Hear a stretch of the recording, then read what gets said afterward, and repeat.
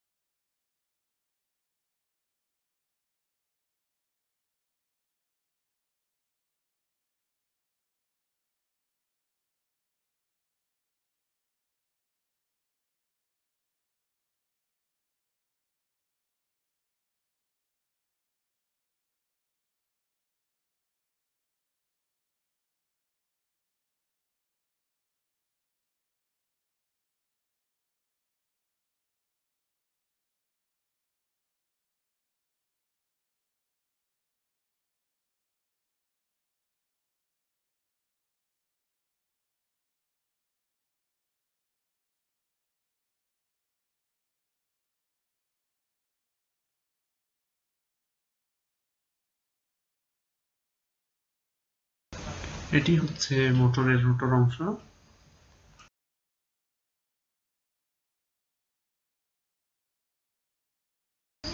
এবং এটি হচ্ছে স্টেটর, যার মধ্যে কয়েল পেঁচানো থাকে।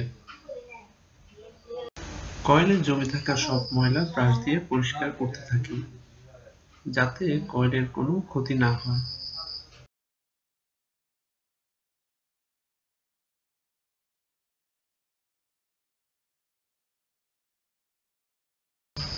মোটরের কয়েলের ত্রুটি চিহ্নিত করার জন্য তার বাধাইটি আমরা প্লেট দিয়ে কেটে নিই।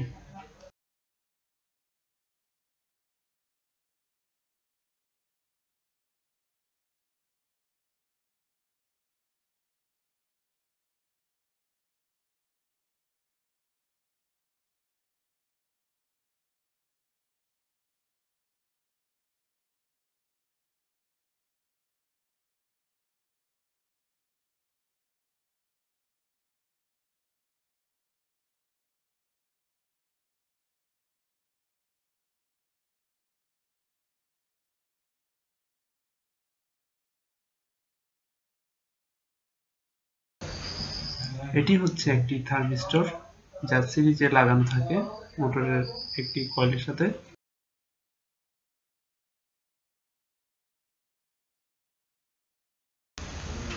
এখন আমরা কয়েলের সবকটি তার ভালোভাবে পর্যবেক্ষণ করি, যাতে করে আমরা সিরিজ টেস্টিং ল্যাম্পের সাহায্যে খুব সহজে পরীক্ষা করে ত্রুটি শনাক্ত করতে সাধারণত দুটি কয়েল থাকে, একটি হাই ভোল্টেজ কয়েল এবং একটি low voltage coil.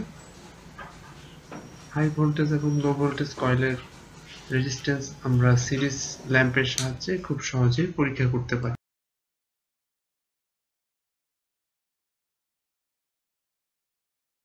এখানে আমরা দেখতে পাচ্ছি হাই ভোল্টেজ কয়েলে ল্যাম্পটি চলছে। অর্থাৎ কন্টিনিউটি আছে। কিন্তু লো ভোল্টেজ কয়েলে কোনো কন্টিনিউটি পাওয়া যাচ্ছে না। অর্থাৎ আমরা ধরে নিচ্ছি লো ভোল্টেজ কয়েলে সমস্যা থাকতে পারে।